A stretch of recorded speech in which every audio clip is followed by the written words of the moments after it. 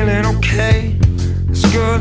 Cause lately I've been feeling so strange. Like I've been rearranged, changed, and these voices.